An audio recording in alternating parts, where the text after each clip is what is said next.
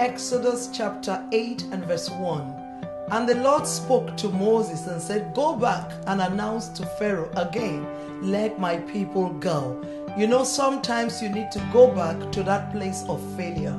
Sometimes you need to go back to that place where they said no, to that office where they said no, to that situation that said no.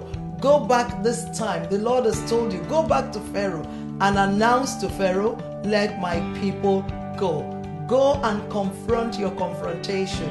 Go and confront that which has resisted you in the past. It's a new season, it's a new anointing. The Lord bless you. I see you come back with your testimony saying, I went back to where they said no, and now they've said yes. Hallelujah. God bless you. It's Pastor Marj. The Lord bless you.